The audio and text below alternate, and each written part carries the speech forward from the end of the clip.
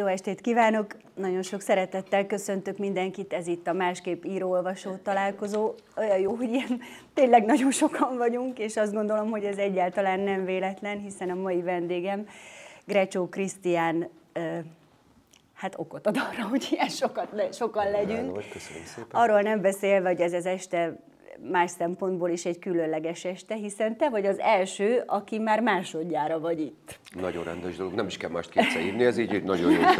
Maradjon is ez így. Viccelek, köszönöm. Én azt gondolom, hogy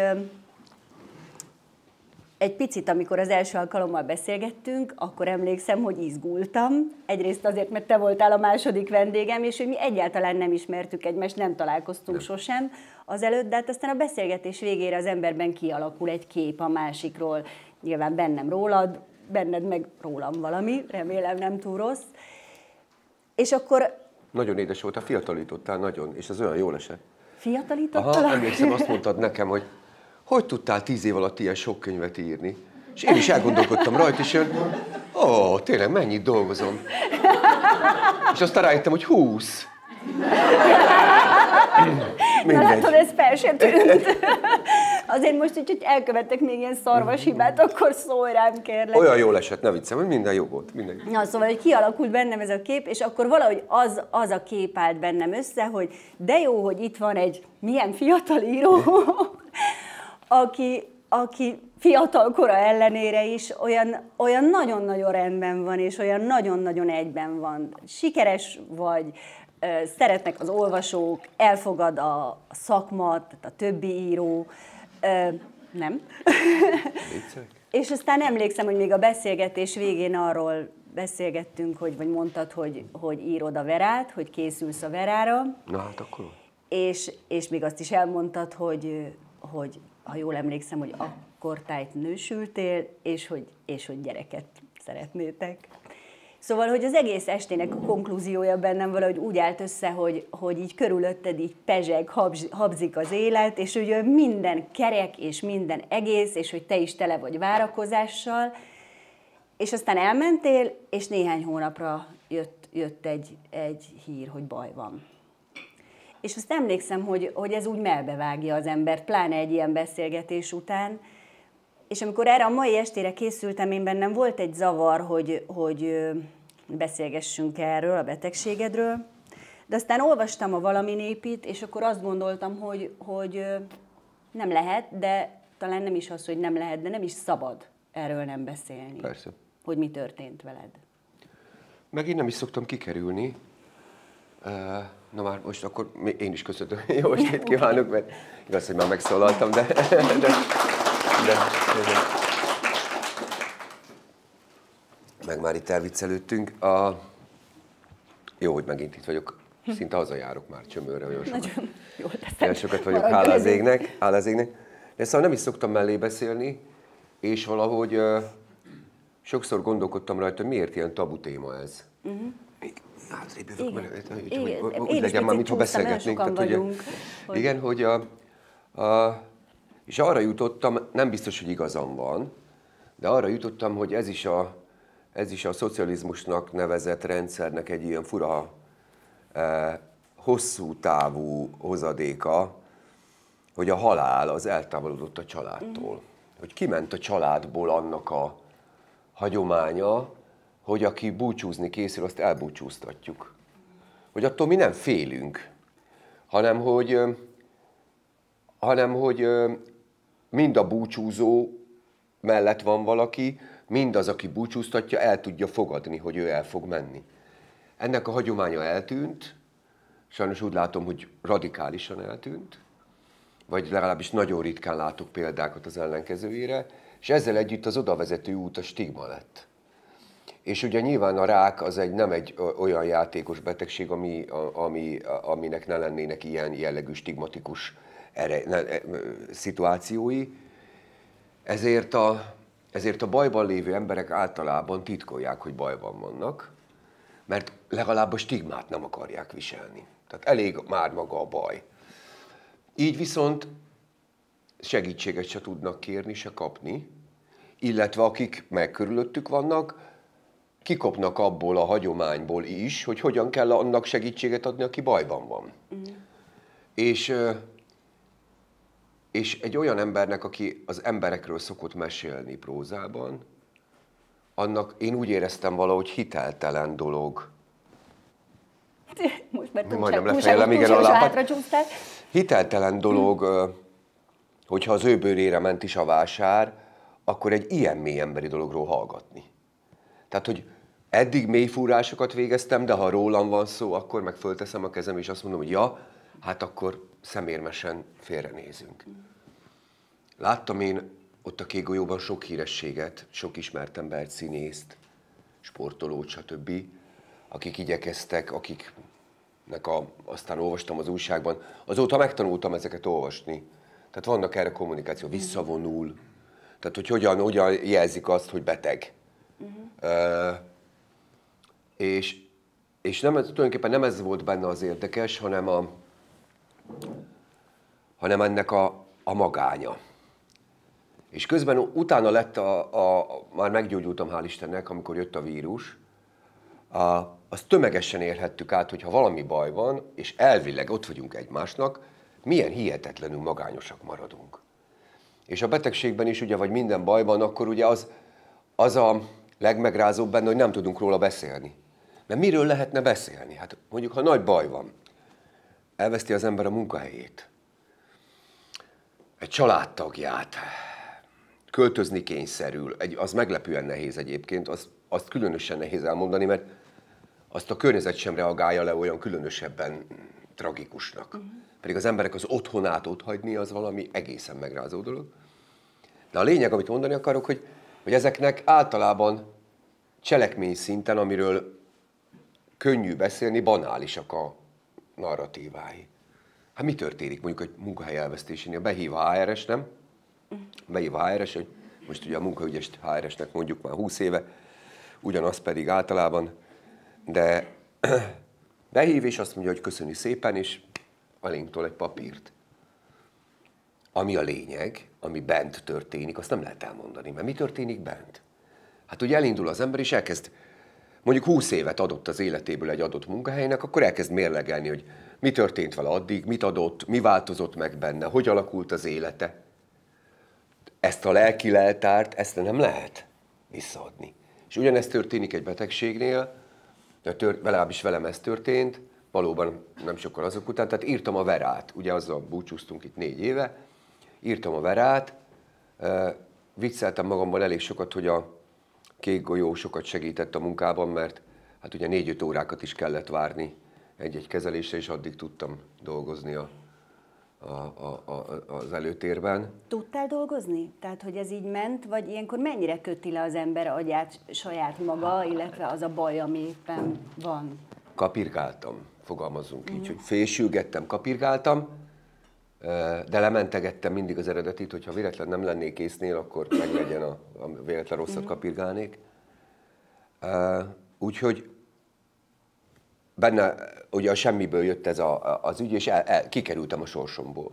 És ez a kiker, ezt a kikerülést, ezt nyilván ezt legbelül kellett elsősorban helyre tenni. Az öngyűlöletet, a, a, az önvádat, mi szerint én tehetek róla, én vagyok a hibás. Nyilván azért történik ez velem, mert oka van, márpedig ha oka van, ki lenne más az oka, mint én.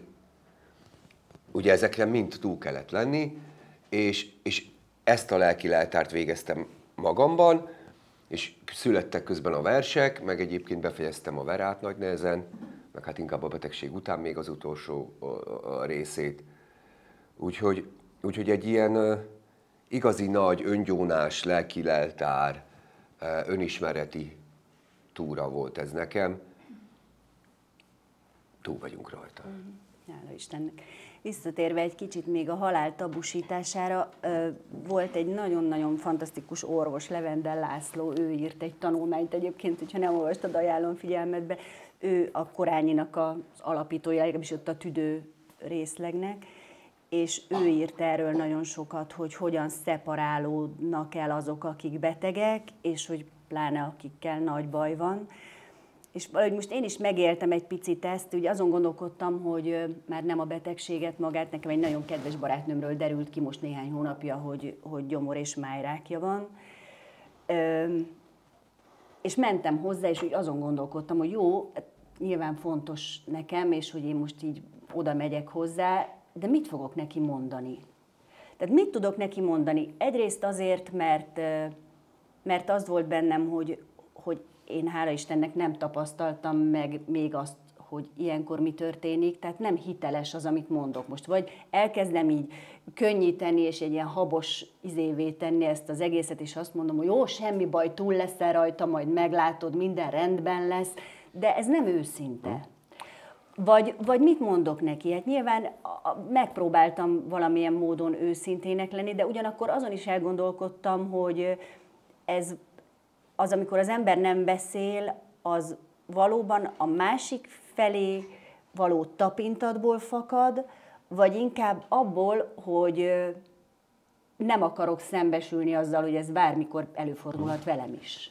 Hogy ne, hát a, a, a, ez egy fontos mondat, mert ugye az énvédő technikáknak ez egy fontos része, miszerint a közösség is így viszonyul hozzád, öntudatlanul és nem akar bántani, és nem gondolja ezt végig, de hát ahhoz, hogy ő a hétköznapjai terheit bírja, ahhoz nyilván azt kell, hogy nem élhet úgy, hogy ez bárkivel bármikor megtörténhet. Hát ha valakivel megtörtént, annak nyilván oka van. Velem azért nem történik, mert nincs oka. Ez csak egy énvédő technika, ebben nincsen semmi vád, nincsen... Csak csak nekem is sok barátom, még közeli barátok is feltették ezt a kérdést, hogy mit gondolsz, mit hibáztál el, hogy ezt. Uh-huh. Hogy... És nem akartak ők bántani, csak hogy ezt Egyébként erre nincs jó megoldás, azt tudom mondani, hogy csak figyelni kell, tehát nem lehet más csinálni, hiszen nincs két egyforma történet. Nincs két egyforma szeretet, tehát hogy valami szerettünket elvesztjük, abban sincs két egyforma történet. Tehát arra sincsenek eh, jól bejárható utak, meg módszertana, hogy akkor ezt, hogy nyilván nagy vonalak vannak, és aztán jön a finom ügy. Nekem például a Babicsnak az őszintessége sokkal, de sokkal imponálóbb volt, mint, mint, a, mint a pimasság. Vagy azt mondani, hogy én nem félek a haláltól, meg hogy ugye azok a, azok a, a azok a, a az elmúlást maguktól eltartó szövegek, amelyek inkább kinevetik, vagy valamilyen módon, valamilyen módon kikerülik ezt, azt, hogy fél az ember. Babics ezt nem teszi, ő szerintem a legtisztább őszintességgel könyörög. És ez nekem sokkal, sokkal imponálóbb volt. Én ezzel sokkal inkább tudtam mit kezdeni. Így aztán a, a versek, amiket írtam, az döntően az ő hagyományát kezdték el folytatni. Ugye az, azzal a címmel jelent meg kötetem, hogy magamról többet, és ennek az első ciklusának az lett a cím, hogy Balázsolás, amiben több Babics, nem Babics átírat van, hanem, hanem a versek elkezdtek bennem dolgozni, és hát azt a hagyományt, azt a hatástörténetet folytattam, amit ő ott akkor abba. Hát egészen különleges egyébként, és nagyon fölkavaró, hogy, hogy Babicsnak megmaradt a hangja abból az időből, a 30-as évekből, a, amikor már csomószor elment neki. Stockholmba, Svédországba járt kezelésre, és, és akkoriban még úgy működött a sugárterápia, zárójelben mondom, képzeld el, hogy kifejezetten sokat nyilatkoztak róla a színháznak, meg a mindenféle akkori lapoknak, Kosztolányi, Karint és Babics is, és ami a legérdekesebb számomra az az, hogy olyan őszintén és tisztán beszélnek a kezelésekről és mindenről, semmi szégyen. Ugye a nyelv az mindenkit elárul, tehát a nyelv az annyira gyönyörű dolog, tehát minden tudatalattinkat szépen így kiteregeti. Én hiába akarom azt játszani, hogy én ezen fölül tudok emelkedni.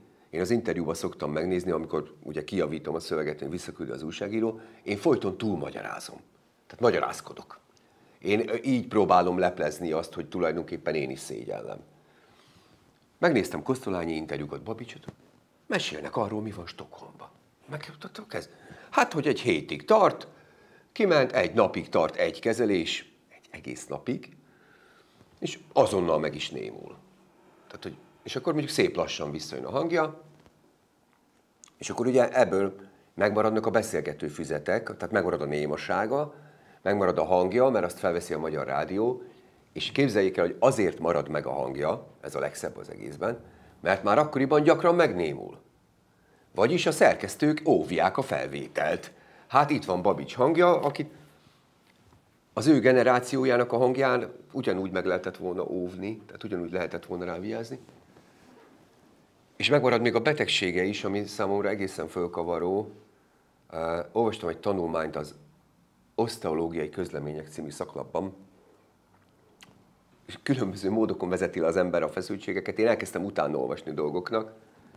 Azelőtt bevallom őszintén nem járattam és nem olvastam az oszteológiai közleményeket, és az utóbbi időben is ritkábban forgatom, de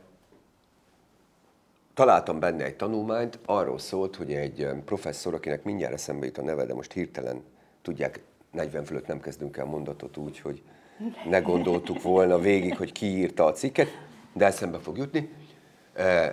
Egy magyarországi orvos professzor arra gondolt, hogy utána jár ennek, hogy milyen érdekes, hogy ez a betegség milyen dokumentált betegség a nyugat első időszakában. Hát emlegetett Karinti, ugye, utazás a koponyám körül, Kosztolányi, hát Babics. És akkor elment az orvos történeti könyvtárba, a, amely intézményt akkor egy Antal József nevű történész vezetett, aki nem olyan sokkal később, két év múlva már Magyarország miniszterelnöke volt, e, és megkérte, hogy a Babics teljes anyagát adják át neki, és hát az a döbbenetes dolog érte, hogy, hogy kiderült, hogy az egészet kidobták. Tehát a nyugat első nemzedékének ezt az orvosi papírait úgy, ahogy van, kidobták, polgári csökevények papírjait, és elkezdett nyomozni, és egy Babics levélbe talált egy utalást, egy Svédországból érkezett Babics levélben volt egy utalás, azt írta a professzor, na annak bezzeg eszembe a neve Einhorn,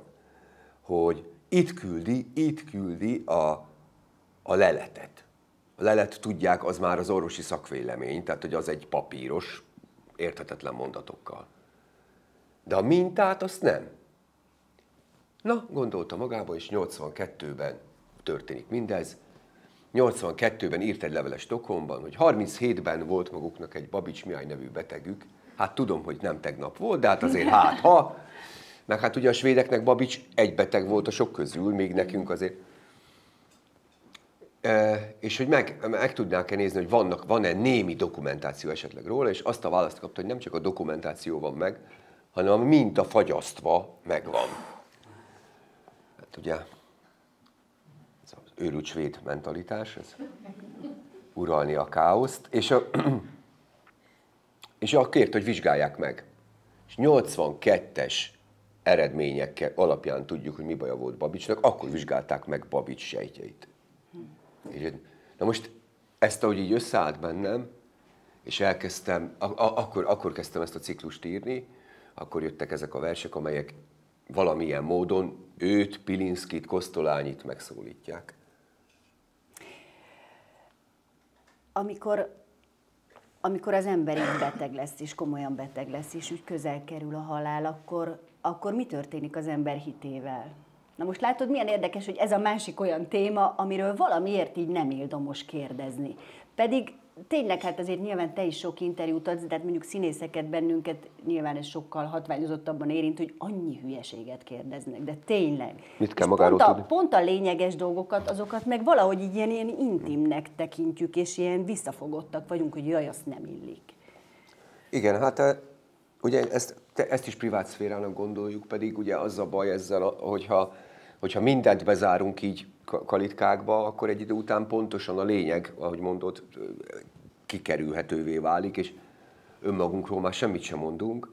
A, hát én egy világéletemben egy istenkereső alkat voltam, folyton, folyton megrendülő hittel, állandóan rengeteg elégedetlenséggel nem találtam mm, a helyemet ez ügyben, de azért időről időre próbálkoztam. Tehát időről időre, és éppen a betegség előtt találtam egy olyan közösséget magamnak, ahol, a, ahol éreztem, hogy, hogy lelki társaim vannak, ahol, ahol elindult egy diskurzus, ez Bakonybélben a Bencés Monostorban, és megfelelően fanyar humorú, kiváló elmék dolgoznak ott, és a Bánizsák atyával elindult egy ilyen szellemi lelki közösség, és aztán jött a betegség, ami nálam egy teljes hittagadással, tehát egy abszolút teljes hittagadással kész. Nekem azt ígérték, mondtam én, hát erről mondjuk semmiféle írásos bizonyítékom nem volt, de én úgy éltem az életemet, hogy nekem a Jóisten azt ígérte, hogy annál nagyobb akadályt, mint átugrani tudok, nem ad. Ha ad, akkor nincs. És kész.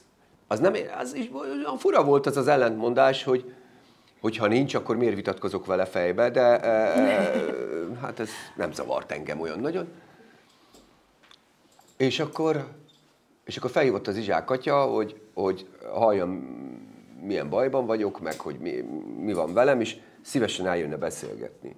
És mondtam, ne gyere, ne gyere mert nem, nem, azt én nem akarom, vagy nem akarom rázúdítani azt a sok gyűlöletet, haragot, indulatot, ami bennem van, meg ezt a hitetlenséget. És akkor nagyon, nagyon aranyos volt, és azt mondta, hogy ő neki nem akkor van dolga, amikor minden jó. Úgyhogy jönne. És eljött, beszélgettünk, elkezd, és rettentő sok türelemmel, elővel, tényleg. És egyszer csak megkérdezte, hogy nincs kedvem gyónni. Mondtam, hogy hát nem nagyon. De hogy hát menjünk le sétálni a Szent István parkban, mondta, menjünk körbe-körbe ott, a, ott az üres részen, és majd ott. És ez úgy azért meglepett, hogy gyalogolva a parkba, úgy körbe-körbe. Valahogy úgy ez, mint egy gyereknek, az úgy, az úgy, az úgy ez így játékosnak tűnt valami tett. És elindultunk, és elkezdtünk beszélgetni, és, és tulajdonképpen az a gyónás volt az a pillanat, amikor ezt az öngyűlöletet el tudtam engedni. Ugyanis nem volt mit vesztenem. Tehát már magam előtt se volt értelme hazudni, tehát ott aztán meggyóhattam mindent, ami a lelkemet nyomta. És ettől valahogy meg is könnyebbültem. És azt a, azt a tanácsot, amit azóta szoktam mondani sorstársaknak, ami talán egyébként más krízisekben is használható, hogy csak a következő lépésre koncentrálunk arra, hogy azt meg tudjuk oldani. És nincsenek ívek olyankor, mert ha az íveket belegondol az ember, akkor összeomlik. Viszont ha lépésenként igyekszik azok, azokat is minél apróbbakat tenni, akkor a következőre még lehet figyelni, és az még belátható táv.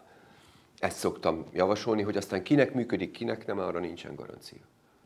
Említetted az imént már Babicsot, és én úgy tudom, hogy neked sem volt hangot, tehát te sem tudtál elég hosszú ideig beszélni. Én nem tudom, hogy az milyen. Én volt már, amikor így én olyan módon voltam reket, hogy azt mondta a gégész, hogy most három-négy napig egyáltalán semmi, és akkor így otthon a fiammal leveleztünk, ami először nagyon vicces volt, aztán utána valahogy mégiscsak azt éreztem, hogy ilyen kirekesztetté váltam hát, hogy attól, hogy nem tudok kommunikálni, hogy nem tudok azonnal reagálni, hogy nem tudok beleszólni a dolgokba az, hogyha az ember nem beszél, és íróként nem beszél, az, az mit hoz? Vagy mi történik olyankor az emberrel? A, minden önsajnálat nélkül mondom ezt, és igyekezve a jelenséget figyelni.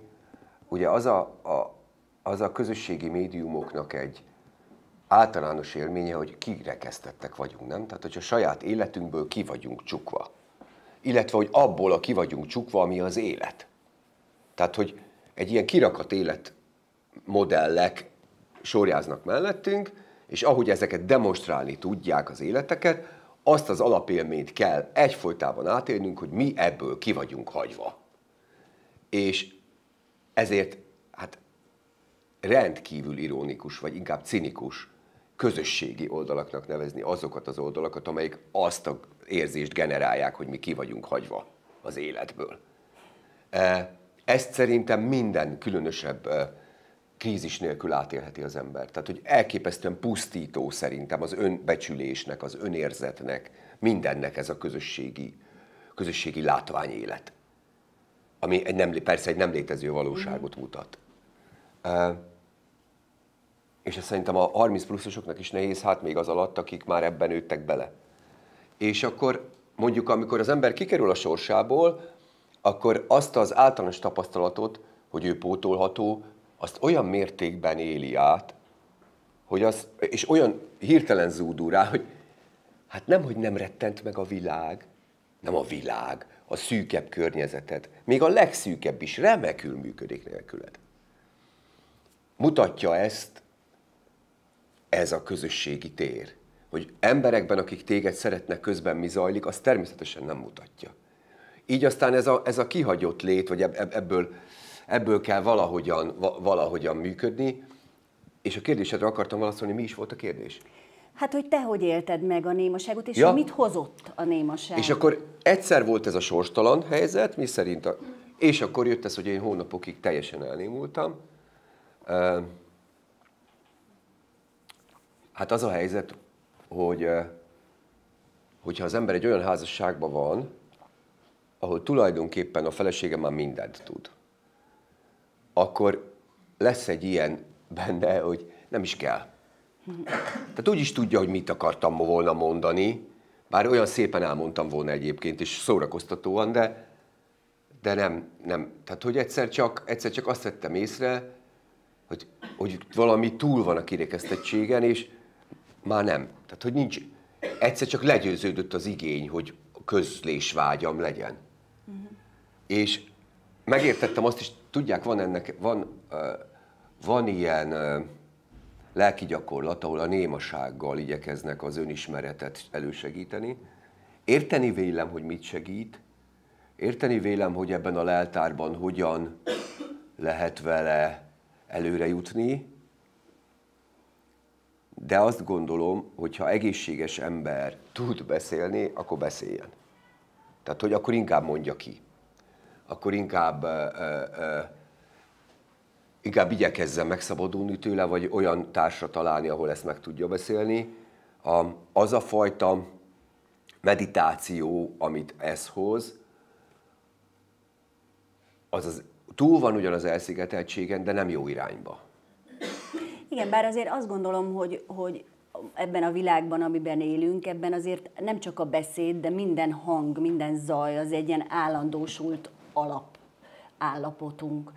És hogy azért, ha az ember csöndben van, hogy, hogy időnként szükség, szükség van arra, hogy legyen csönd. Nyáron voltam a Tihanyban, a bencéseknél, és ők csináltak egy ilyen éjszakai templom bejárás, nem tudom, két és fél óra volt, ami úgy kezdődött, hogy na, és akkor most mindenki csönd. És akkor teljesen némán mentünk ott végig az altemplomban, fent, mindenhol ott bejártuk a folyosókat a sötétben, és nyilván a sötét és a csend együtt az egy elég furcsa kombináció. Nem véletlenül mondják egyébként sokszor pszichológusok, hogy aki fél a sötétben, az ott, ott az, egy, az tulajdonképpen egyfajta halálfélelem, tehát tulajdonképpen ez a fajta csönd és, és sötétség mm-hmm. egyszerre az is szembesít valamivel, ami azért elindít folyamatokat. Hát én a, most erről az jutott eszembe, a, a, a, hogy a, kellett járnom beszélt arra, hogy újra tanuljak beszélni, Na most a kék golyóban ez nem egy, a kék golyóban csinálják, de azért alapvetően nem egy hétköznapi tevékenység, tehát ott a folyosón, akik ülnek, azok a legtöbbje nem beszédtanra jött. És a, ugye nincs hangszigetelt, a hangszigetelt ajtó, és akkor bementem, és azt nyilván kívülről ilyeneket hallottak, hogy a beszédtan tanár ilyeneket mondta, hogy nyugdíjas nyomdász nyögve nyomorog. meg ilyen balos mondatok voltak. És, és aztán kijöttem, és minden alkalommal ilyen dermedten néztek az emberek, hogy ez mit csináltod veled? Hogy ez mi, miért kellett azt mondani, hogy nyugdíjas nyomdász, nyögve nyomorog. Úgyhogy, úgyhogy voltak még, még, tehát a, minden helyzetben megvan a humor, meg a, a minden helyzetben meg lehet, a, meg lehet az abszurditás.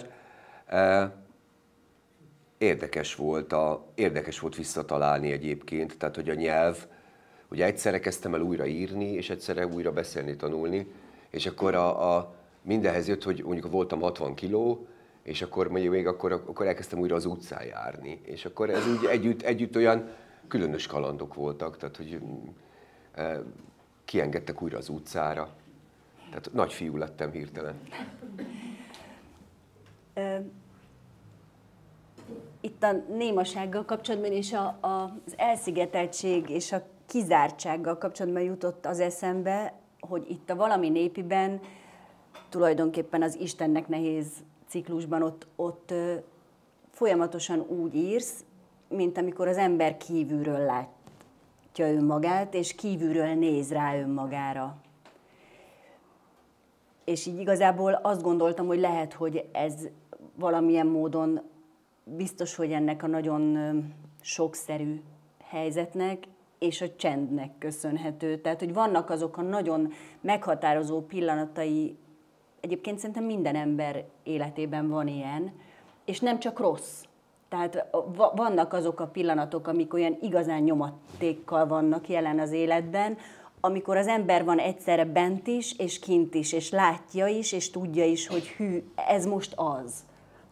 Hát ugye nekem ez az egész pályámat meghatározta, folyton ez a kettős nézőpont, hogy ugye azzal indult a plegykanyúval, hogy egyszer csak rácsodálkoztam a világra, ahonnan jöttem, ami én voltam, ami a leg, a gyökereim, a, az identitásom, hogy arra már rá tudok nézni kívülről. Ugye már egyetemistaként megláttam, megláttam azokat a történéseket, figurákat, a, hagyományok továbbélését, amit akkor már nem találtam ter- föltétlenül természetesnek, érdekesnek találtam, humorosnak, kedvesnek, szerethetőnek, már nem voltam benne annyira otthon, hogy, hogy egyszerűen csak éljem őket. Hanem már, már ráláttam, ugye, és ez a kettős nézőpont, ez a benszülőt, meg az etnográfusi, ez a kettőnek a feszültsége a plegykanyú tulajdonképpen, ami hát ugye az elején még nem föltétlenül volt rajongással fogadva a Szegváron, aztán megszerették óvatosan. Vagy legalábbis nem haragszanak már. Hát annyira nem, hogy Szegvár díszpolgára lettél. Igen, igen. Hát az... Csak mutat valamit. Hogy ne, ők is meglepődtek, meg én is. Szerintem ezen a, a, az átmeneten. De volt egy érdekes helyzet ebben, és aztán visszatérek erre, amit mondasz, mm-hmm. mert ez egy fontos dolog, hogy amikor díszpolgár lettem, még a Covid előtt volt, és a falunapon adták át, az volt a hagyomány. És ez nagyon drága volt a díszpolgárnak, mert az úgy néz ki, hogy akkor ugye megkapod a díszpolgár egy címet, utána meg fizetned kell, ott, ott van ugye a, a, a sörunikumokat folyamatosan, annak örömére, hogy díszpolgár lettél, és, és beszélgettem ott az emberekkel, és ott egy fiatal ember, egy, ha már így, így nevezték, korombéli középkorú, elmesélte, hogy ő neki milyen negatív tapasztalatai voltak annak idején, 20 évvel ezelőtt. Amikor megjelent a könyv, akkor ő gyűlölt engem, mondta.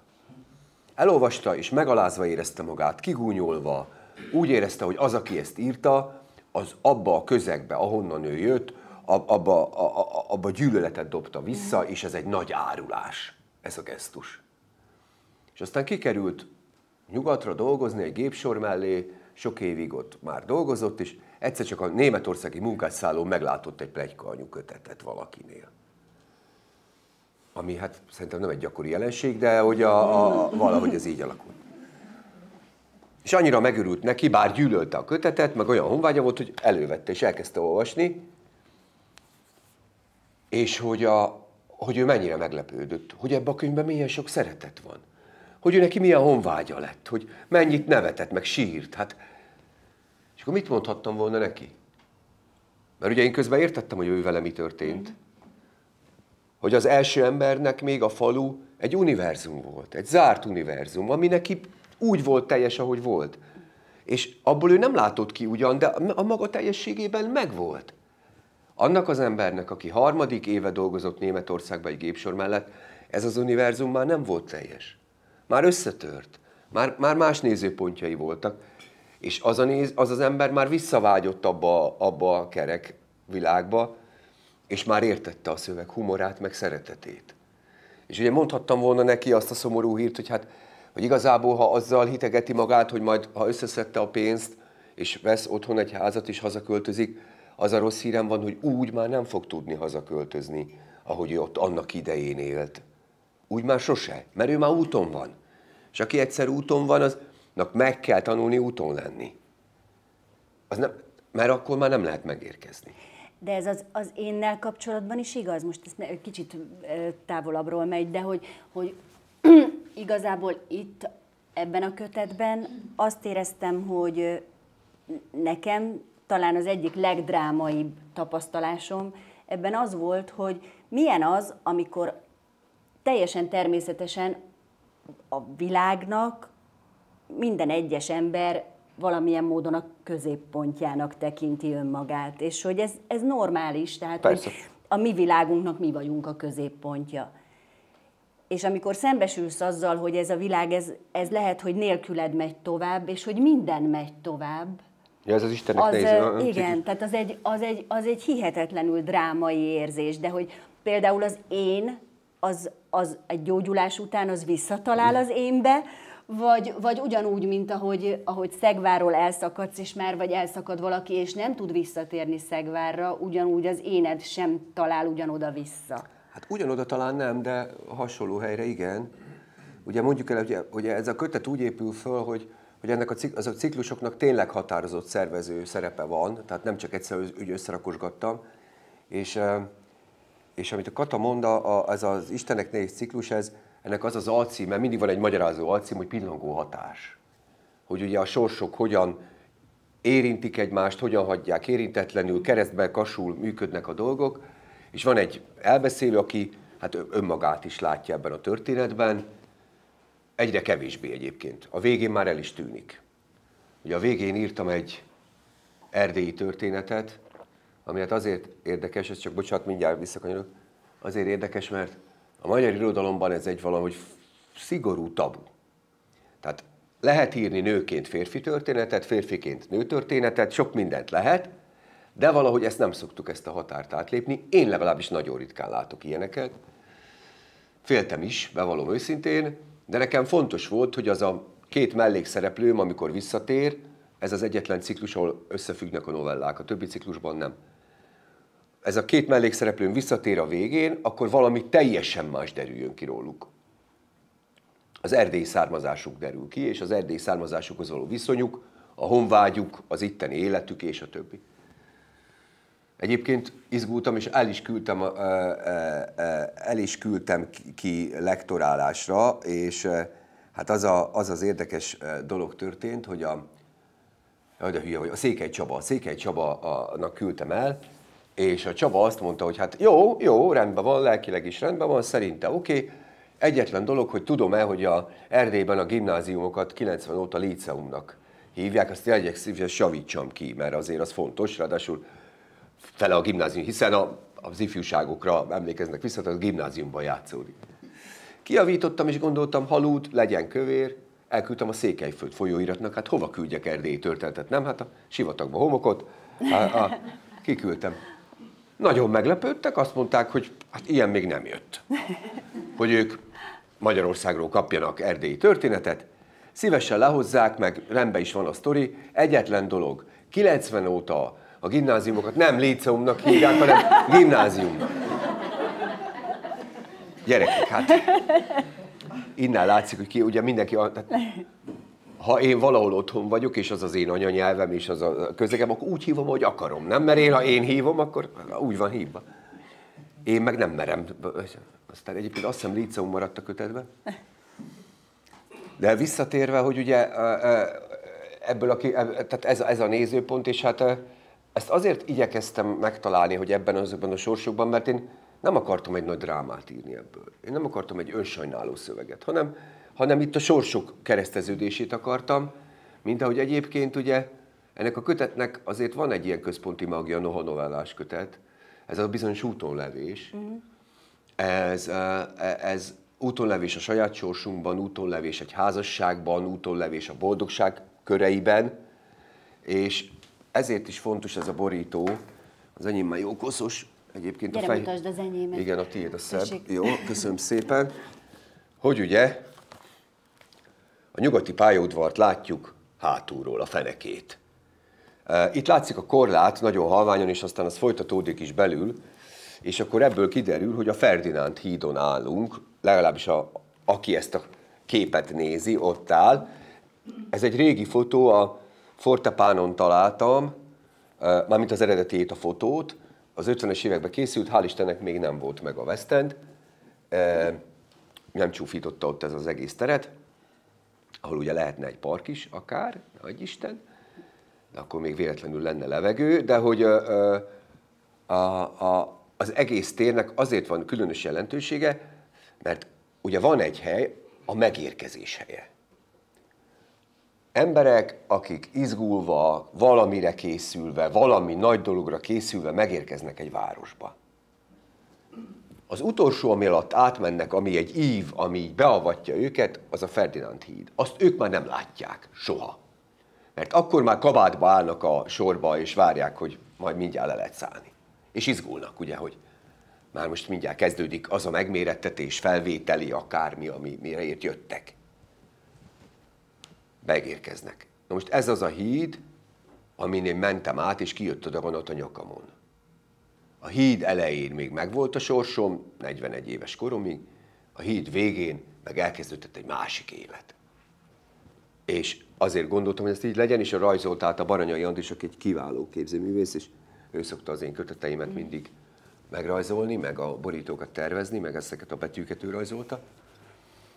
És akkor így, így ez tulajdonképpen a így is úton levés, átalakulások, beavatódások helyzete ez, családtörténetek, és mindezt igyekeztem végtelenül személyesre angolni, és még egy fontos dolog, hogy itt elég komolyan és mélyre furva indítottuk ezt a beszélgetést, aminek örülök, csak hogy a kötet szempontjából annyit teszek hozzá, hogy a kötet nem ilyen komor szerintem. Nem, sőt, akartam is egyébként ezt, ezt is mondani, hogy azért itt, ahogyan írsz, egyébként a betegségedről is, azért az olyan kicsit tényleg, mint, mint Babics, meg Karinti, de azért időnként így beköszön Hofi Géza is. Tehát, hogy tényleg azt, azt éreztem, hogy, hogy, meg, hogy azért ennek van humora. Meg hogy a szeretet, meg a derű, az hitem szerint mindvégig ott van benne, és igyekszem ezeket pontosan úgy körbejárni, ahogy mondjuk a, a magamról többet végén, meg ugye az a, az a szülővé válás ciklusa. Igen. És ugye ott is, hogy, a, hogy ugye az a végtelenül különös helyzet, hogy szinte tükröződik. Mert a nagy boldogságainkról sem tudunk beszélni. Igen. Tehát arról sem lehet mondani semmit. Hát, hogy én például, amikor szülők lettünk, akkor el voltam képedve azon, hogy mindenki azt kérdezi, hogy alszunk-e. A világ legnagyobb csodája történik éppen, és azt kérdezik, hogy alszunk. Hát kit érdekel, mondtam én. Egy hónap múlva már azért határozottan sokkal jobban érdekelt, hogy alszunk-e. De hát rájöttem, hogy hát mi, mégis mit kérdezne? Tehát ez nem felszínesség, meg még csak nem is problémakerülés. Hát nem lehet egy diskurzusban, egy, akár egy utcai diskurzusban, de még egy asztaliban is. Hát mit? hogy és nyílnak-e már a gyerekkorod tárnái? Vagy mégis mit kérdez? Vagy hogy, hogy észrevetted, hogy mekkora vizsgálja ez egy házasságnak? Hogy hogy mikor történt a felismerés. És, tehát, De hogy... miért nem kérdezünk ilyeneket? Tehát ezek létező, feltehető kérdések. Nézd meg, most mondtál rögtön hármat. Hát... Tehát legközelebb kisgyerekes van a környeke, kör, környezetedben, akkor tedd fel ezeket a kérdéseket. Én nagyon kíváncsi vagyok, hogy ilyenkor mit válaszol valaki. Én is kíváncsi lennék, hogy páros lábban rúg neki azonnal, vagy... De nem, tényleg. Még picit, egy picit a könyvborítóra visszatérve, mert itt elmondtad ezt, hogy, hogy a megérkezés, meg az útonlevés, de közben én meg azon gondolkodtam, hogy egyrészt abszolút érzem itt a sinekben, amik, amik párhuzamosan haladnak, meg helyenként metszik egymást, azt a fajta pillangóhatást, amiről hogyne, beszéltél. Hogyne. Másrészt nekem meg az jutott még eszembe, hogy milyen furcsa, hogy ez van a borítódon, persze értem, hogy miért, de hogy tulajdonképpen milyen faramúci dolog egy híd, ami alatt nincs víz. Igen. Nem? Tehát, hogy így sinek vannak egy híd alatt, hogy ez, ez, ez, ez önmagában szerintem maga a város, maga Budapest. De ilyen Budapest egyébként ugye, hogy, hogy amíg nem ismeri az ember a tereit, addig nem tudja, hogy tulajdonképpen a Duna az csak az egyik akadálya a közlekedés szempontjából. Az, hogy bejönnek a pályaudvarok, és hatalmas sinekkel mondjuk például zuglót, meg mindenfélét levágnak, és egész szigeteket rajzolnak bele a városba, azt mondjuk akkor éli meg, amikor rájön arra, hogy ez nem egy város, hanem rengeteg kisváros.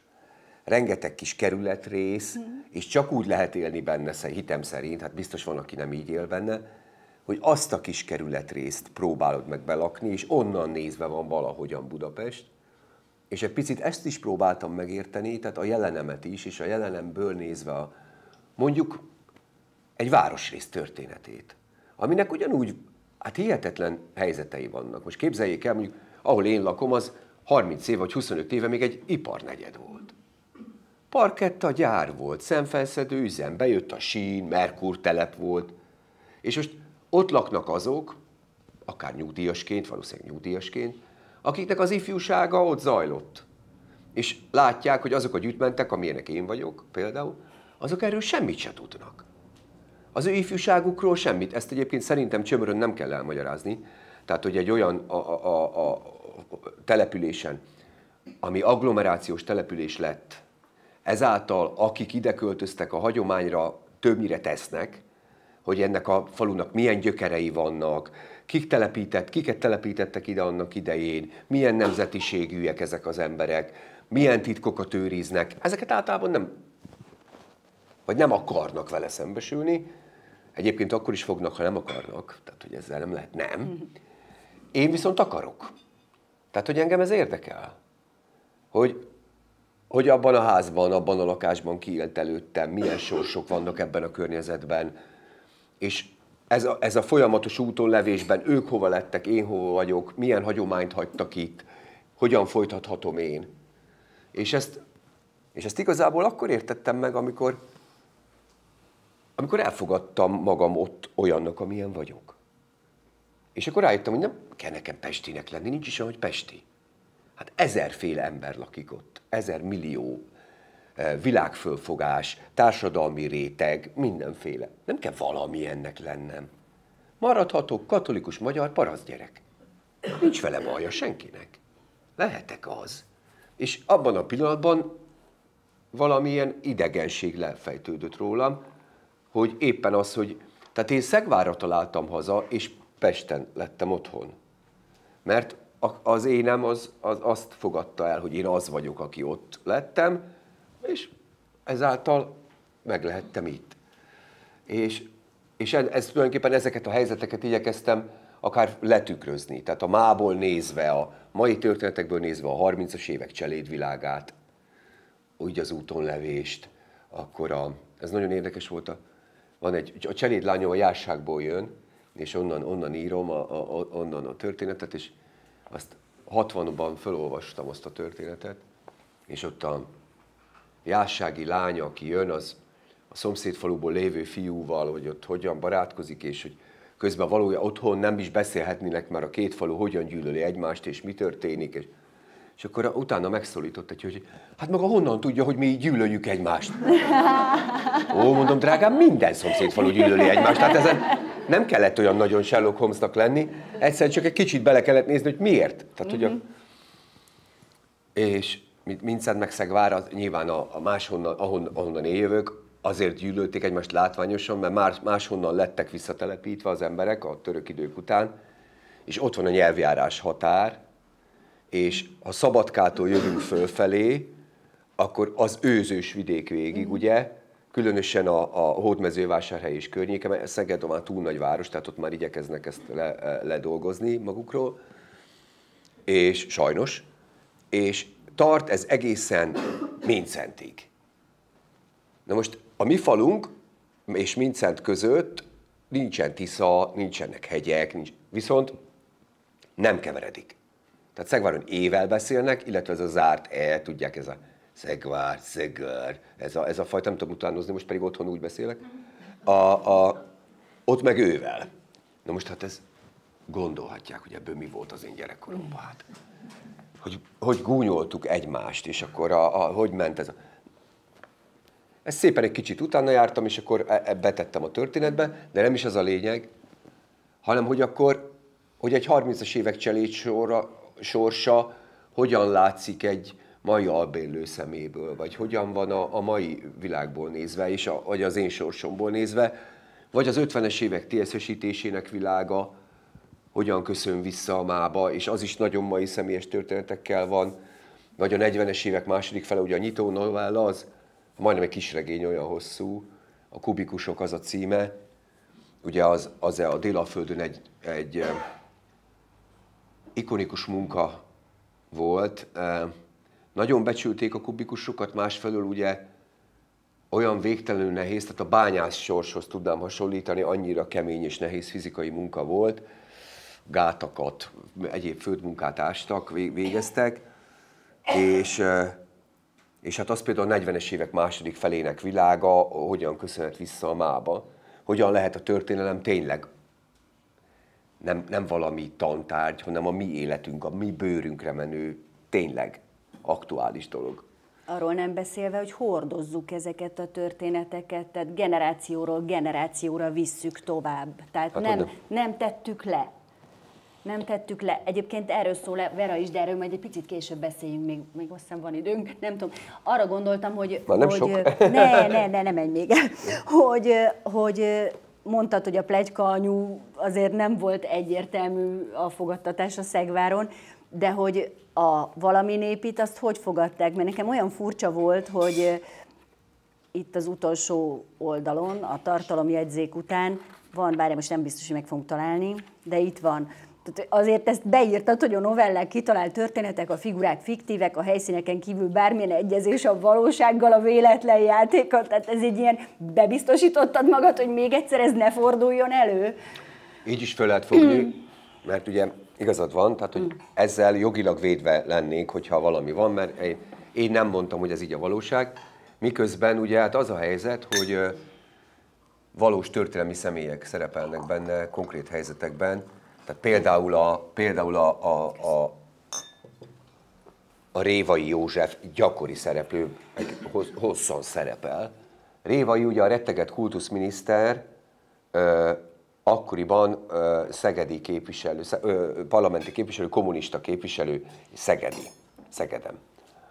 És ö, ugye például abban a történetben engem az érdekelt nagyon, az, az a szerintem a tétje a novellának, hogy hogyan lesz egy egyébként jóra való, tanyasi, falusi fiúból agitátor. Hogy adja el a lelkét az ördögnek? Mi történik közben belül? Uh-huh. Na most ezért írtam oda tiszta szívvel, hogy ezek a jelenetek fiktívek. Mert én ugyan rengeteget kutattam ezeket. Ezek bírósági iratokból vannak a nevek is. Ez valóban, ezek hiteles történelmi eseményekre alapuló tehát az a novella azokra alapul, na de hát a lényeg nem ez, hanem hogy a srác szívében mi történik. Azt én nem tudom, tehát az nincs ott a bírósági iratokban. Azt én elképzeltem, ettől a pillanattól kezdve ez fiktív. Mm.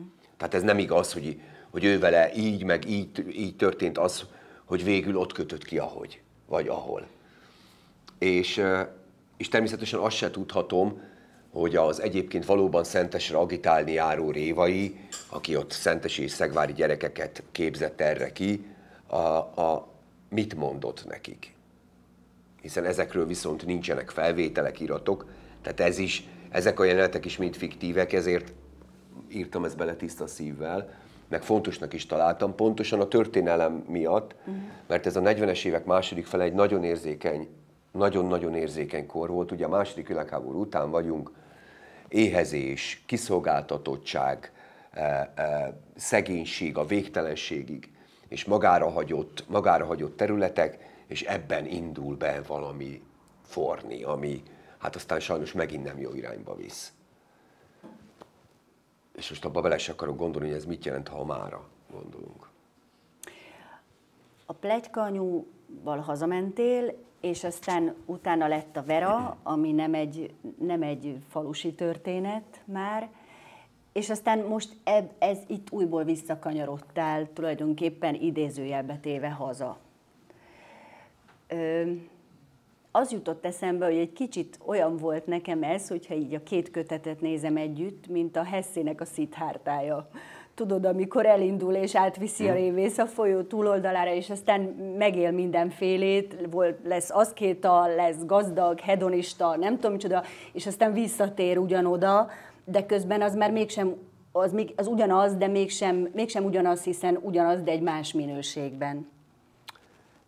Lehet, hogy így van. Tulajdonképpen több idő telt el, mert mondasz, az a, ugye a plegykanyútól a, a veráig eltelik 20 év, rengeteg könyvvel, és lesz az a helyzet, hogy ugye én egy tulajdonképpen egy, egy ilyen nagy, hát úgy kezd most ma mondani, tudják, hogy transgenerációs trauma ezt kell most mondani arra, hogy van családunk, és az hat ránk.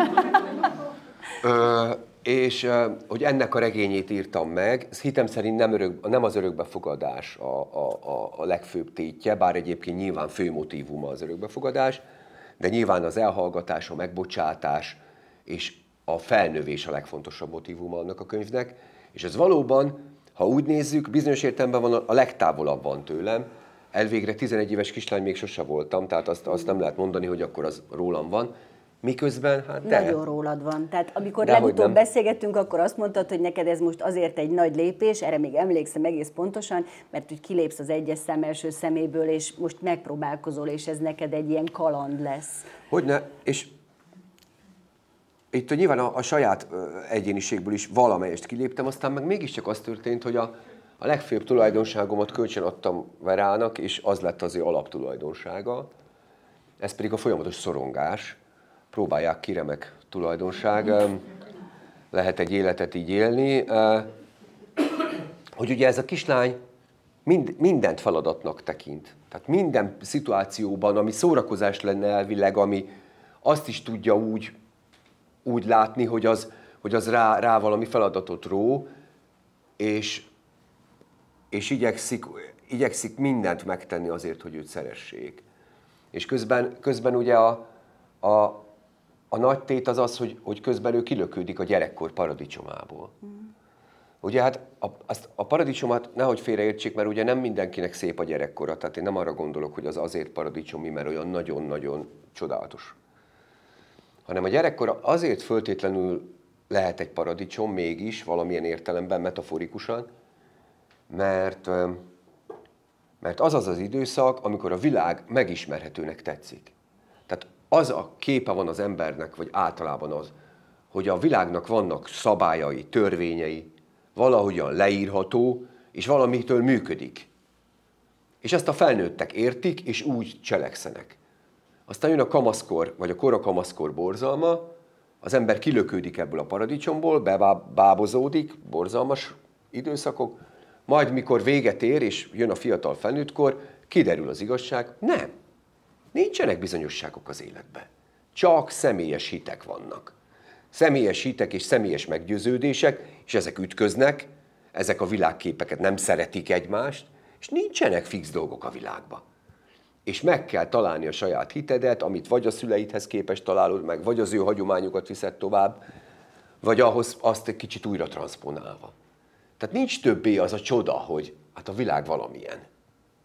És ezt veszti el Vera. Tehát erről szól a Vera, hogy egy túl korán jött nagy szerelem kilöki, kilöki erre a pályára, hát még csak 11 éves, tehát hogy egyáltalán nem kellene még neki, hogy ez jöjjön, és nem is tud vele mit kezdeni. De mondjuk, hogy az élet milyen, hogy az is jó Isten miket akar üzenni, azt nem tudom, mert képzeljék el, hogy valamelyik nap vittem a gyereket bölcsibe, megint elkéstünk, és akkor mondja, mondja nagy mérgesen a bölcsis néni, hogy de ne hozzam már mindig 10 óraira, az ugye 9-20-kor van, tehát hogy az nagy minden előrébb van. Mert, mert így az egész csoport fölbojdul. Hát nem mondom mit, hát a gyerek beslisszol. Leül a almagerezdje mellé, hát majd csak lesz van. Nem ilyen egyszerű, mert az udvarlója, mondta. Mondom, álljunk meg, Ildikó Álljunk meg, Ildikó. A kie? Hát az udvarlója, az fölpattan, és ott besegíti, meg akkor feláll, és akkor az egész fölbomlik a rend. És hát aztán szépen lassan el is kezdtek jönni a hírek otthonra, hát egy, egy, emlegetni egy fiatal embert, és ott folyamatosan, és egy idő után csak megkérdeztem a feleségemet, hogy ugyan árult már el, miféle név ez a Mile? Na most már megszoktam, hogy rendes, rendes neve nincsen a gyerekeknek, de hogy a, már Mile, hát én még ezt sose hallottam. És a feleségem rám néz nagy hanyagul, és azt mondja, hogy lengyel. Most ha olvasták a verát, lengyel a fiúnak az udvarlója. Na most, hát néztem, mondom, lengyel udvarlója van a lány. Hát milyen esélye van ennek? Már elnézést kérek. Hát így van, úgyhogy, úgyhogy most ez, próbálom megfejteni, hogy ezzel a Jóisten mit akart üzenni, de még nem értem. Hát igen, így vannak, vannak ilyen jelek, amik vissza, vissza, visszatérnek. Ö, ha ha az ember gyereket nevel, mint ahogy te is, hát ott egyszerűen mindennek más lesz a helyi értéke, és más lesz a felelősség. És ez egy baromi nehéz dolog, mert, mert nem csak az a feladatod, hogy te szép és jó dolgokat mutass, hanem egyszer csak elkezdi az ember a saját megoldatlanságait, meg a szülei megoldatlanságait hát, is érezni teljes súlyával, és itt visszatérek a verára, illetve az elhallgatásokra és a titkokra, amivel ráadásul a történelmünk is tele van, tehát itt egy csomó kibeszéletlenség van, és nyilván az lenne a cél, hogy az ember ezt ne hagyományozza és ne adja tovább, mint egy továbbvivendő stafétabotot a gyerekének, hogy kínlódjon ő is vele, hanem itt valamit le kéne zárni. Na most te például mit csinálsz? Mert azt én tudom, hogy neked is sok, sok elrendezetlenséged van az édesapáddal például. És nyilván, hogyha te apa leszel, akkor, akkor szeretnél, szeretnél szeretnéd ezt már nem továbbadni. Ezt ugyanúgy én is megéltem egyébként, tehát nyilván nekem is nagyon sok feldolgozatlanságom van az apukámmal, nem is tudom, hogy le fogom-e tudni tenni valaha, próbálom fejtegetni, bontogatni, szedegetni, mint a hagymahéjat, de mindig van alatta még másik, tehát hogy nem nagyon tudom, hogy hogy lesz ennek a vége, meg hogy mit adok ebből tovább aztán. Hát igen, és ráadásul itt is egy nagy úton, részemről egy nagy útonlevés van, hiszen hozok egy hagyományt, amely hagyomány neki, hát természetesen lehet fontos, de valamilyen módon én szeretném, ha ő értené, hogy én honnan nézem a világot, na de hát nem ő választotta ezt a helyszínt, ahol élünk, amely számára az otthon lesz, meg annak az értékrendje, meg annak a világa, és, és ő is hihetetlen sokat tanít nekem, azzal, hogy ő otthon van ahol, tehát ahogy a lakásunk neki otthon, ahogy az a tér neki otthon, azzal ő is nagyon sokat segít, és, és én is meglátom magam ezekben a tükrökben. Van egy sorozatom a nőklapjában, az a cím, hogy Lányos apa, és azt vettem észre az utóbbi időben, most már egy 20 akárhány részt megírtam, vagy már majdnem 30-at, hogy terapikus hatása is van. És mondták annak idején nekem, hogy hogy az nagyon hasznos, ha egy szülő naplót vezet.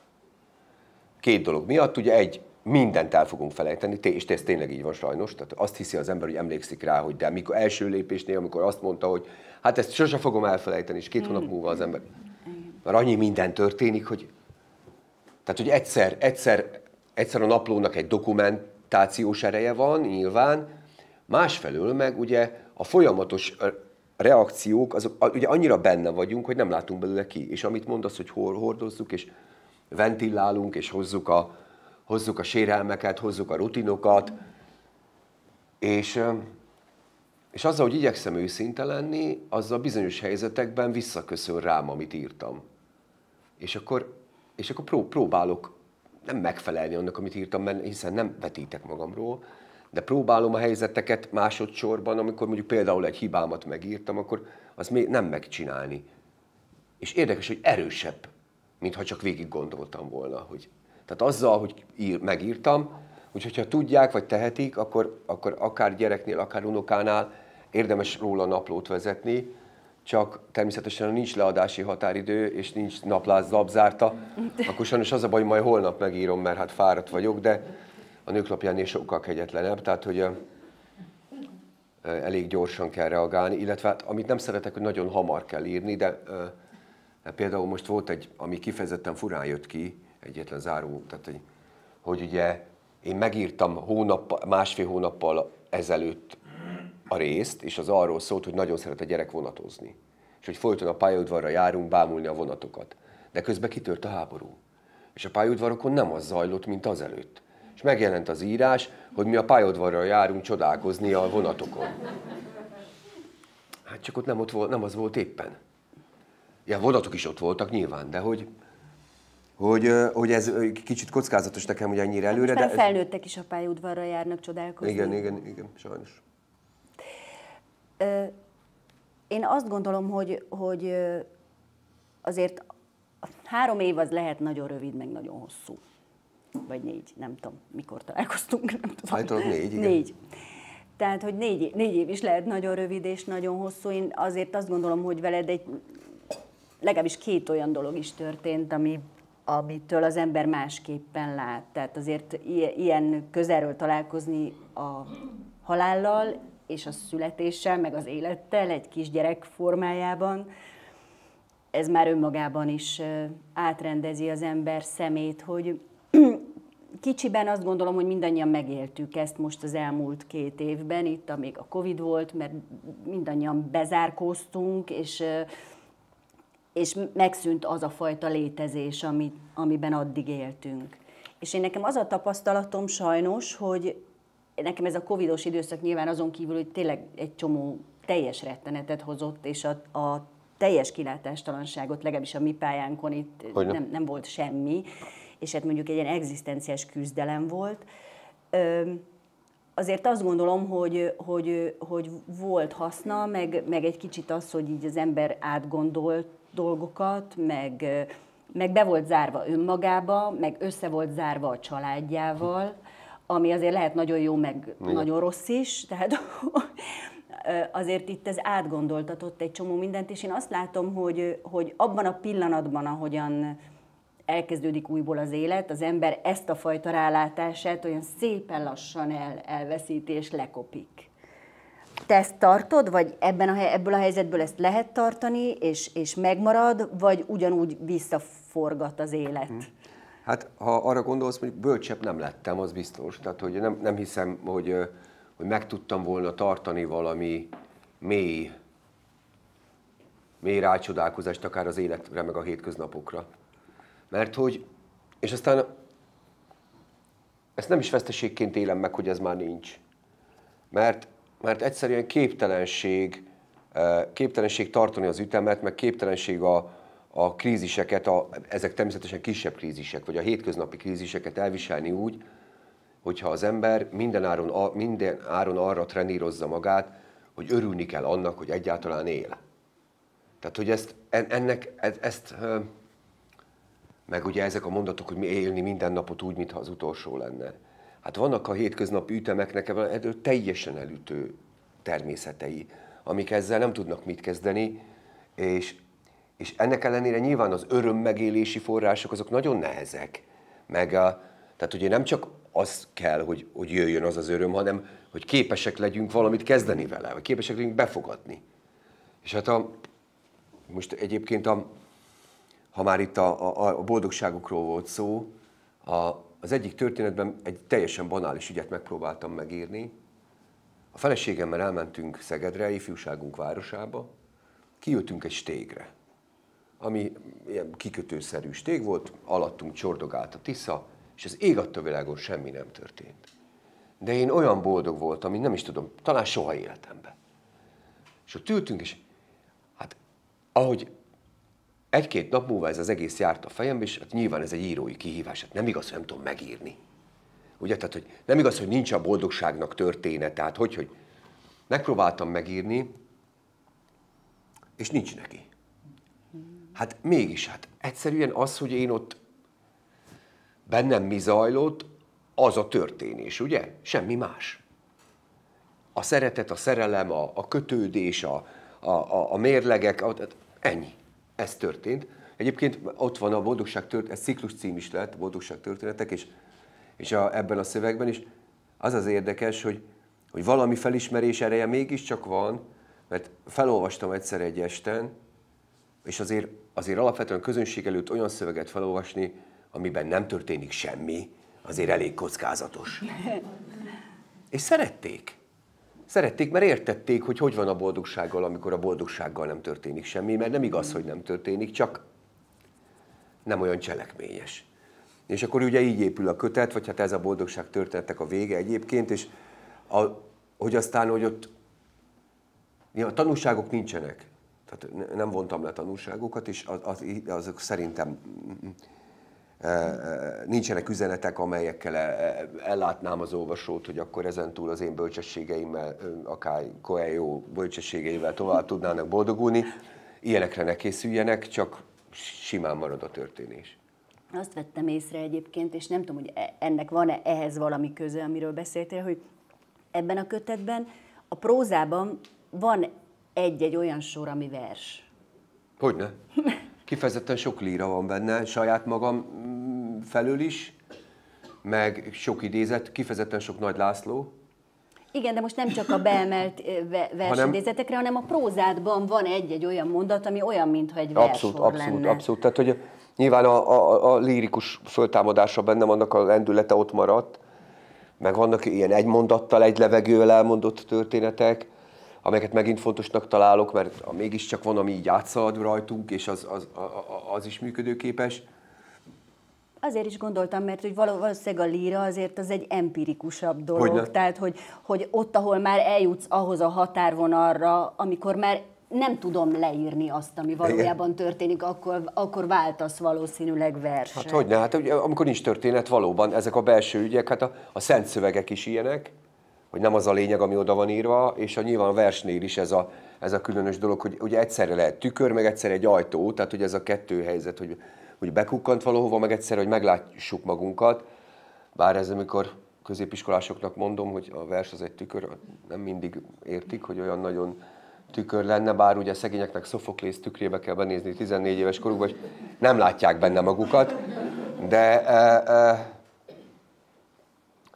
de azért tényleg, tehát ugye a versnél is, meg az olvasásnál is azt a gyönyörű élményt, hogy ugye a befogadó egyenrangú szöveggel, és minden élménye, múltja, előítélete, a származása, az ő nagymamája, minden ott van az olvasatában. Tehát nincs két egyforma olvasat, és ilyen értelemben nincs is a könyv, mint olyan, csak tárgyként létezik, hiszen nincsenek, mindenki máskorban olvasta, másképp volt fontos, mert, tehát hogy ezek, ezek így működnek, és ugye hát a jó olvasó mondta Nemes Nagy, az nagyobb kincs, mint egy jó író, mert nehezebb kiképezni, mondta ő. Olvasol nekünk valamit, egy novellát, amiben nincs történet, vagy van, akkor ebből egy nagy, szerint. Akkor egy zárásképpen, akkor egy nagyon rövid részlet, akkor a boldogság történetből, ha már így, ezek a, csak a legvége, ha már így ezt felhoztam, és azt mondja, hogy 232. Tehát egy stégen vagyunk.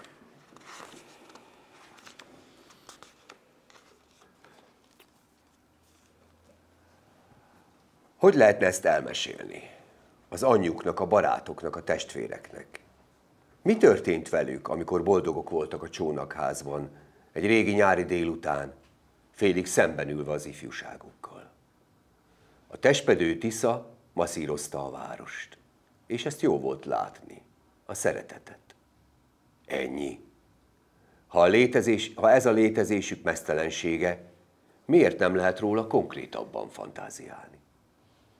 A férfi különösen hisz az anekdotákban, példázatokban, allegóriákban, neki, ha innen nézzük, kudarc is lehetne, hogy éppen a boldogságuknak nincsen története. Persze mégsem lehet ez konkrét fiaskó, mert ahhoz az kellene, hogy ezt valaki egyszer megkérdezze, hogy tényleg érdekelje. Mit csinálnak, amikor boldogok? Vagy ha ez így erős kérdés, amikor szabadok. De ilyesmit nem szokott kérdezni senki. Ez olyan lenne, mintha egy gyermek születésénél, korábbi motivumok ismétlődését felfedezhetik. Ez olyan lenne, mintha egy gyermek születésénél arról fagatózna valaki a családban, közeli baráti körben, hol és hogyan, konkrétan milyen események mellett alatt élte át, fogta föl az ifjú szülő, hogy ami történik mondjuk a létezés legnagyobb csodája. Milyen volt a felismerés dramaturgiája? Mert nyilván volt ugye felismerés. De hogyan zajlott? Nem. Épeszű ember azt kérdezi a szülőktől, alszanak-e? És ez nem slendriánság, még csak nem is felszínesség. A nagy dolgoknak már itt tartanak a negyedik sportfröccs után, bármilyen híga löty, már lehet ilyesmit a szájukra venni, szóval a nagy dolgoknak csak szereplői, díszletei és jelmezei vannak. A rendező olyankor sohasem néz oda, nincs megírva a szövegkönyv ami nem azt jelenti, hogy áll a színpad, hogy föltétlenül mozdulatlan a tér. A vak nem fehér ködöt lát, nem lát semmit. A kulissza szilánkok ennél persze jóval konkrétabbak. A helyi részbarna férfiak trikóban vagy félmeztelenül, fekete fecskében ülnek a csónakházban, az egyik asztalnál kártyáznak, ulti. Nem mind szerelmesek a csapos lányba, csak a többség. A lány, aki mindenkiről tudja, mit iszik, dermesztően és elidegenítően szép, mindene sok. Vagy családok jönnek ki. Vesznek a büfében juice főzetnek kapszulás feketét, beszélgetnek, aztán a kikötői stégen bepakolnak a motorcsónakokba, és felhúznak a körös torokig. Ezek mind vannak. Ahogy ilyenkor a családokat látva egy lehetséges másik élet is bekerül a fókuszba, az így is lehetne élni enyhén mérgező banalitása is felvillan. Vagy az is történik még, hogy a férfinak lelkismeret furdalása van, amiért nem szólt a barátjának, hogy itt vannak a városban. A barátja pedig biztosan meg fogja tudni ezt, a nyári város magányos és visszhangos. Nem akart fájdalmat okozni, és nem is tudja majd megmondani, miért nem szólt. Egész délután a csónakházban ültek. Tényleg? Oda mentem volna. De akkor nem az lett volna, ami volt. Miért? Mi volt? Semmi.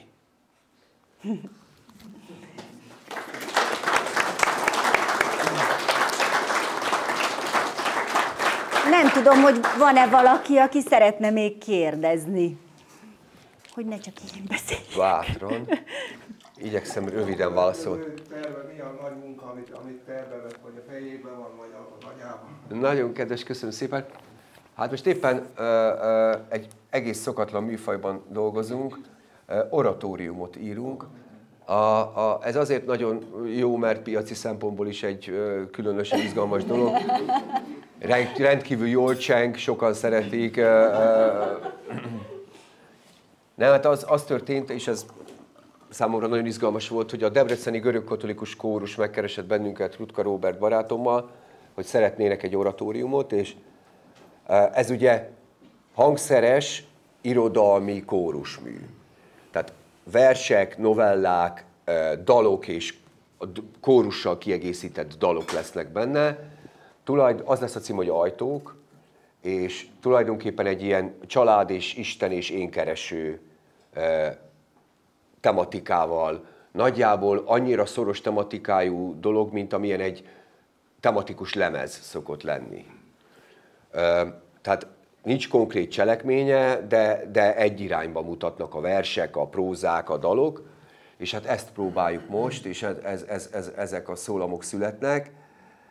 Hosszú, rövid szótagokkal álmodom, ugyanis a, ráadásul ugye az a helyzet, hogy kórusnak írni szólamokat, az azért hihetetlenül nehéz, mert a kórusnál a hosszú szótagnak gyakorlatilag is hosszúnak kell lenni. Nem elég, hogy verstanilag hosszú, hiszen a kórusnak ki kell tudnia húznia. Vagyis valóban hosszú magánhangzónak kell ott lennie, és ráadásul még i vagy é nem is lehet, mert azt a kórus nem szereti kihúzni. Az árnyék az egy olyan csodálatos szó, hát az, nem is tudom elmondani, hogy milyen nagyszerű. De hát nem akarom elviccelni, sok mindent megtanultam erről, és most ugye ezt írom a szólamokat folyamatosan, Robinál születnek a zenék, és közben már a kórus próbálja, tehát közben már kapom vissza, és ennek lesz az ős bemutatója Debrecenben, ugye, hiszen a, a, a kórus debreceni, és május második felében pedig a Magyar Zeneházában lesz a budapesti premier, jöjjenek el, ha van kedvük. Szerintem egy szép lelki feltöltődés, egy bő, bő óra, egy ilyen 70 percnyi gondolkodás arról, hogy hol is vagyunk, meg mi. Hát valakinek igen.